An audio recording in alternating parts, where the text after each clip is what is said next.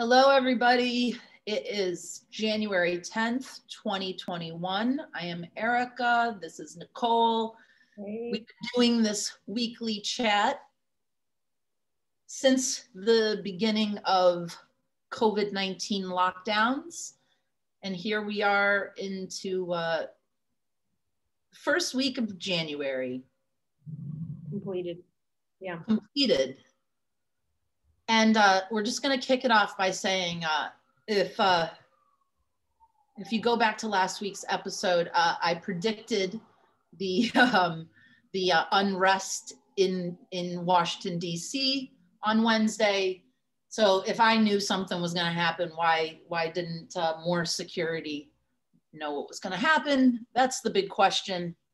And I throw it to you, Nicole, in Madrid. Well, I was going to say if there's any indication of how this year is going to go, based on the fact that we had like a uh, attempt of overthrow, a, coup d'état, not to mention um, I had a blizzard here in Madrid where I am right now. Blizzard, 16 inches of snow yesterday. Last time it snowed was in 1971. So if we, if this is any indication between the politics and the weather, this might be the last year we live. I don't know. and let's just try to keep laughing our way through it Yeah. because uh, um, yeah it's been a really tough week and um, um, as we speak as far as I, I know i think central park there is some anti um, I don't know if it's a clash between anti uh, fascist groups and Trump supporters or what, but something's going on in the city right now. Um, so, uh, Yeah, how do you see the humor in all this for the week? Well, there is no humor in that. Uh, Nicole Malliotakis's offices is a, a- a few blocks away from my apartment, and there was a uh, protest outside her office yesterday, and uh, there's continued protests today, and that's what's going on.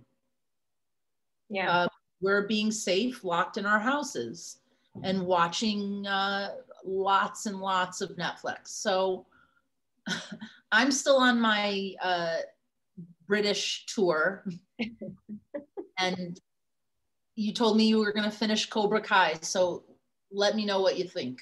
What Okay. you thought, what your thoughts? You, of course, finished it before me. I was watching like two episodes a night, so I was getting a good a good feel there. Hated season two, so I wasn't expecting much for this season, right? I thought it was fucking hilarious. I mean, I laughed so hard. I mean, Eduardo talks throughout the whole thing, and like the writing is so bad. The writing is so bad. Like the comments they make and stuff but at the same time it's like you're you're really watching this show you're not watching this show because you want good writing you're watching the show because it's it's like nostalgia that's it Or or good acting. You're not looking for good acting. so you're watching it for the nostalgia point right and it, it totally gave you all of that for season Yeah, the writing is so bad. It's unbelievable. but The i do like no one would have that conversation. Like it's Yeah. just I, I kept saying it's almost like they paused 1985 and then they think like these people's lives never nothing happened between there and now like the Yeah. things they say although that's what made it funny i thought it was so bad it was good. And you that's, didn't, that's laugh? you didn't laugh at a lot of it i was like oh, I was cracking up the whole time, but it was like ridiculous. Um, I mean, the best things were hit uh, the the blonde guys. johnny His just it, like no in, uh, computer knowledge whatsoever. is that your door Doorbell just my doorbell just rang. It's probably not for me, but let me you wait. Let me check. I, might, I don't think so. It's Sunday. Yeah, amazon comes on sundays I think it's for upstairs. Okay, sorry. um, Okay, sorry. yeah, I'm back. johnny the blonde guy get back to that what were you saying um, just his uh, like not knowing about Facebook, like, oh, and I send this message, how long is it going to take to get there? And Yeah. just all that kind of stuff. That was like my favorite. Oh, and his photo when he found the old photos of, oh my God. That's the part I wanted to bring up. Wait, wait, wait. Can I say this? So Yeah. he's going through the pictures of himself, thinking of what to put on his profile, his page.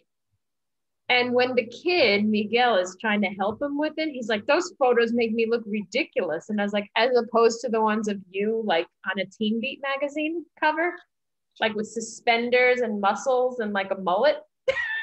That's not ridiculous. I laughed so hard.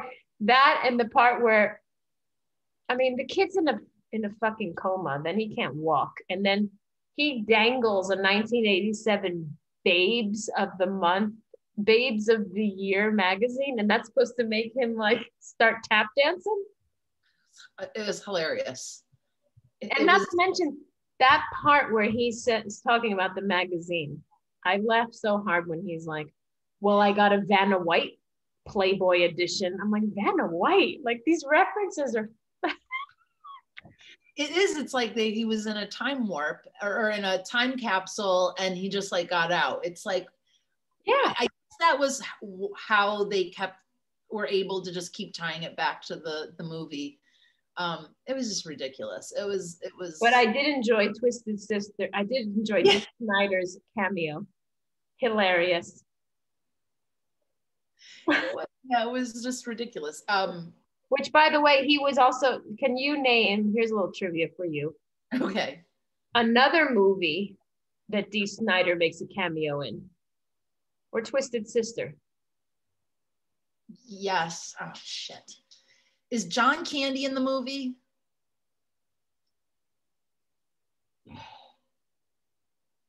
You're overthinking because Pee Wee Herman's Big Adventure at the very end when he's going through the sets and and Yep. they're they're filming a video. yep yep yep yep yep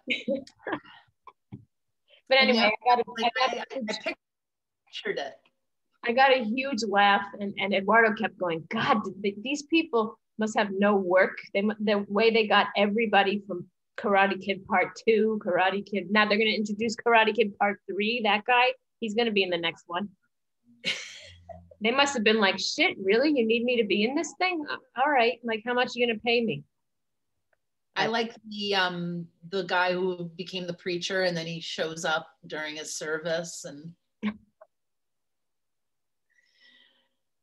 oh goodness. Yeah. Um My favorite character though was um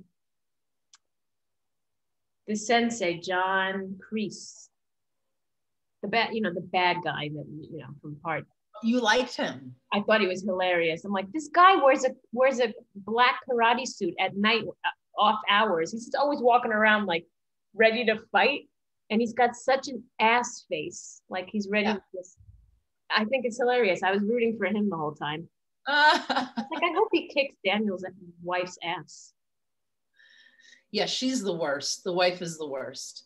Um yeah, Anyway, it was funny. I, I got a kick out of it. Yeah, it was good. Um what else did we watch? I um I'm one episode almost done with Bridgerton, which Is that another British thing? Yeah but it's kind of this I, was kind of avoiding it. I watched like the first episode and i, I kind of walked away from it watched something else and then I, I i'm almost done with it now. It got a little bit better.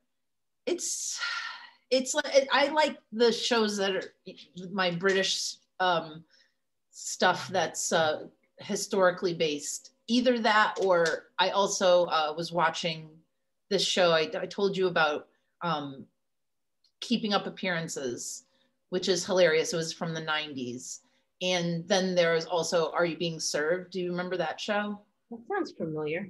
that was on for a long time are you being served? It's like these guys are all working in a department store. It's just like that slapstick kind of benny hill. Okay, yeah. it's just really ridiculous but um are you uh, keeping up appearances is really funny. Um but it's like an old old british show. Um and, and this bridgerton thing is uh, like kind of that shonda rhimes uh, directed it or produced it, Mhm. and it's it's like this fresh perspective on these old stories. I think I don't really know a whole lot about it, but it's it's also like Gossip Girl meets um what's that show on BBC that everybody loves that it's not a comedy, it's like um like a soap opera kind of a show. Do you know what it's Oh. called? It's I like don't an old thing. Is it old? No, it's like currently Oh, it's not like EastEnders or something like one of those. no, but it's it's like currently on it's like the name of something. And I feel like everybody loves watching it. It's like a big If I show. the title, I'd probably recognize it, but So it's like that meets Gossip Girl because it's very Gossip Girly. Like the costumes and the outfits are very bright and like it's kind of a big Mhm. like the costumes are, are kind of like a big part of it. I, I think I I love like it's very like everybody's wearing really bright colors. It's like not really realistic. Do you know what I mean? that seems um, a British thing, though, doesn't it? I mean it goes it's like 1800s. Oh, okay. so it's and everybody's in these bright vibrant colors and um it's almost like a little like ridiculous it's cool though i think it's um it's interesting uh I also got back into Howard because um you know I was I was considered because I haven't I've listened to him on and off for the past year. I really like my listening has dwindled down because I don't have access to it. And I, I keep saying like maybe I should just get a um, Sirius subscription or whatever. So I looked into it and I'm like I can't I can't get that here. So um, but any anything that I've found from him for the like his most recent things I've been listening to, his most recent shows. so how do you get it you like you can just illegally download it No, I- no, I go on YouTube. Some, some I, sometimes people put a whole, but there were a few from like his very last of 2020. Yeah, i think uh, ronnie's watched some of those clips and i'm like listening to it and he goes oh i'm just watching these youtube clips but we have the subscription and um I'll be, didn't we already listen to that he's like yeah but here's the video Yeah, We'll put the video up. Um, what was he talking? Yeah, I'm uh, interested to see what he says tomorrow. He's gonna lose. His, he's gonna lose his. oh yeah. Ah. I was I was waiting for that too. Yeah, I always want to know what other people are gonna. Are you other- gonna watch this 60 minute thing? Um, tonight Nancy Pelosi is gonna be on 60 Minutes. Well, it's another perspective. You know what that's what she's gonna say. Yeah, I don't. I mean. Uh, anyway, yeah. So you've got the political upheaval. yeah, I'm sorry. I don't. I feel like I don't have a lot to say. I'm. I'm. I also feel like I'm. I'm. You know, you get me talking about this, I get like just beyond mad.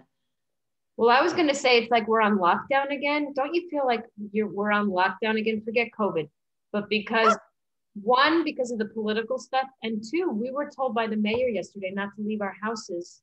I don't think I told you this. I was waiting to tell you today. Um, everything's canceled until Wednesday here. Like nothing's open. Um, I don't have. I was supposed to go back to work tomorrow for exams and all that stuff all schools, every school and university is closed until Wednesday. because you guys don't know how to handle snow. I'm not kidding around with you, but okay, the snow stopped yesterday around four in the afternoon after having snowed for over 24 hours straight. There are like a few plows in the whole city, so obviously can't get anywhere. And the mayor comes on, is like, nobody leave, nobody go anywhere unless they have to, because they can't even get the ambulances down the roads. God forbid somebody calls. So, make a long story short, today the bell's ringing. I answered the door.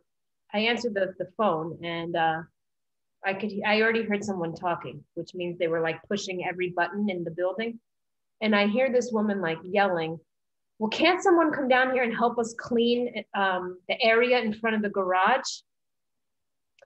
You know, we have the cars in the garage under the building they have the door permanently open because they're afraid that the that the electricity might go out. So they have it open, but it's all iced.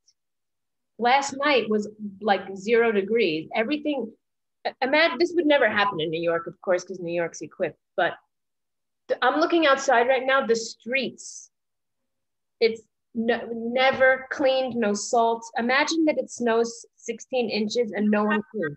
Do you remember that year that that did happen here? Um, it was right after Christmas. I, I'm going to say Ronnie just moved. It was like 2010 or 11. No, okay, so I can't. I wasn't living there, but 11 or 12 yeah. and uh, um, um, bloomberg right was mayor and he was like on a vacation and they didn't get the the trucks out early enough i remember people were um, cross country skiing yeah. down the street because people couldn't drive down the streets now that wasn't manhattan that was out in brooklyn where i yeah. it was in park slope and i know there were other parts of the city that did get plowed but we couldn't it was it, I now that was crazy because that's something that would happen out in the country or something. And the, the fact that the, the city that they they I wouldn't even say that. I think it's a state by state thing because New York State in general is very well equipped because it snows there.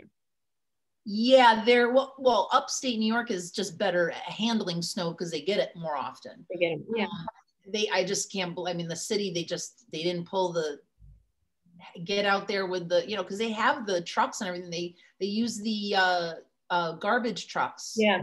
Well, that's another thing. I'm like the garbage is piling up on top of all this too. So everything's closed down. And today I'm watching people attempt to clean their cars off and stuff. I'm like, and Eduardo gets mad because I always point this out. I'm like, are people stupid? When it snows like this, you have to clean it. You don't wait for the whole thing to stop. Otherwise, you're left with this much and it's all iced. You have to kind of go out every once in a while and brush things off. He's like, Well, people don't know. I'm like, I don't care that it doesn't snow here. Did anyone go to school and learn that water freezes oh. at zero? Oh, Nicole, come on. you're expecting too much of people the woman asking for people to help clean out the thing i'm like it's it's all ice now. You should have done that yesterday when it stopped snowing. So i'm looking at the window. They're, they've all got brooms. Because don't forget no one here owns a shovel. Why would they own a shovel? A snow shovel. They're out there and eduardo's like maybe i will go down there and help them clean. I'm like using what? He goes a hammer. I'm like what are you to do? Bang the ice and chisel it away? I'm like what? What are you gonna hit the? I mean, it's not about like people who oh, to break up ice. I'm like, okay. So, but so overnight it froze up. It, it froze. I'm not. A, we're not allowed to use our elevators either because there are loads of trees down everywhere that have fallen on top of cables and don't and they can't get they can't get emergency vehicles down there. I'm looking out the road. It hasn't snowed in 24 hours and it looks like it, it's all and it's supposed to be you know don't forget madrid is a city. It never goes below 45 degrees here. It's been like 32 degrees here and it's going to continue to be that way the next three days. It's a fucking apocalypse here. So now we're on lockdown but for a totally different reason. Gosh i would love to see some um i know this is terrible to think this but i would love to see some um, snow photos of some of the murals like around um Lava yeah, because I love like seeing snow photos with because you know, like in New York, it's like, oh, you know what time of year it is when it's, you know, you get out uh, and get some snow photos. Um, but they're, they're definitely, I mean, that's going to be a rare sight uh, to see Madrid. I saw a friend of mine posted, I guess somebody in Madrid was, uh, you know, showing the snow, like how crazy it is. And one of their, um, their pieces of art was on the wall so that she reposted it. And that's how i knew that you guys got the snow before you told me. And i was like oh my gosh that's it was something. that's very rare. Rare i mean and I, and I said to you before we got on this call if if the world wasn't falling apart in other well, I, listen we're not the center of the universe here uh you know um americans although they think they are well, I mean, it, it is a big deal. It is a big deal. Yeah, you're right. But um, if this wasn't going on this week, I think the snow in Madrid would be a, a really big story here, even.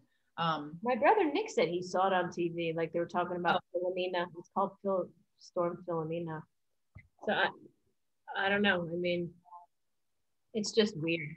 It's really weird, but it was fun because we went out and it was good packing snow too. And I'm telling my mother, and she's like, "You're acting like you've never seen the snow." And I was like, "I've lived here for 12 years. I haven't seen it in 12 years. I mean, one time that I was home, I think it was 2012. It snowed pretty bad. Maybe that's the storm you're talking about because I was there at Christmas time. Oh, were you? And maybe yeah. that's why I couldn't get up because you were up at your mom's. I was at my, at my mom's. Violetta was like a baby. It was 2011. Oh, wait. That wasn't the year that um remember we all got together at New Year's? Was that, that, that? You're right. That was 2011. It wasn't that. It was 2013 that it snowed because Violetta was like two, two and a half. Yeah. Yeah and we have pictures of it her like in its oh, like so much fun he hasn't seen it really so i was like well you know i haven't seen snow in a long time let alone like a blizzard but it's funny to watch people not i mean there are people our age who never saw snow that are from here. Yeah. They just don't know how to it's like again do you not know how to behave in the fucking snow? It's kind of cute. I remember when um i was in college there was a big snowstorm and you know we had like a, a, friend of mine was from California and she really she went and bought a snowsuit. She was like she was freaking out. Like it was it was like hilarious. We all laughed at her. It was it was adorable you must not be a local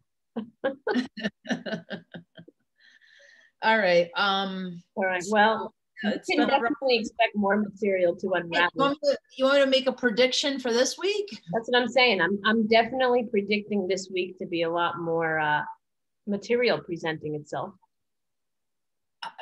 Listen, like what have like I was watching everything on TV, and then just everything afterwards was just more and more stuff coming out, like uh, uh what what they actually had planned, hadn't planned it's no, it's insane at this point. It's it's so. I think there's it, we we are the example of hypocrisy and and and racist racism and and that's what I think is at the the root of all of it. Yeah, it's disgusting. And I'm going to say this. I'm going to get on my. It was disgusting to sit at home all summer and not be able to go out and peacefully protest and sit and watch my friends get fucking arrested for not doing uh, uh, like one thing right or wrong. Uh, my friends got beat up by cops. I, I watched all kinds of crazy shit happen. I, and that, that's just on a personal level, not only what I saw cops do for the last, I don't even know how many years to people that didn't look like the people. oh, yeah. And, and, and to all right, that's it. I'm gonna get angry. Um, I, I am. I'm. I, I'm. I laugh a lot because because I'm full of rage, because I know I have to find something to laugh at because I I am I'm. The funniest people are angry deep down. I mean that's yes. true. yes. Yeah. Uh, you know what? I I am gonna tell. I'm gonna make a prediction. Next Sunday, I am going to tell my Chris Rock Jerry Seinfeld story. So stay tuned. It's going to happen. Ooh, I'm going to hold you to that. Please do, because I've worked it out. I've worked it out. Okay, good. All right. With that, we'll leave you, and uh, I'm going to enjoy the shit show here, and you enjoy yours where you are. Thank you. I will. All right. Bye.